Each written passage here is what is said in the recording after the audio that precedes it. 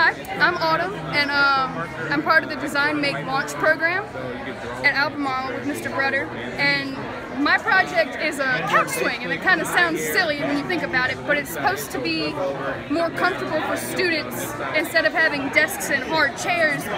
You're in this thing that's a swing, and you pull down the desk, and you can work inside of it, and it's supposed to be comfortable like a couch.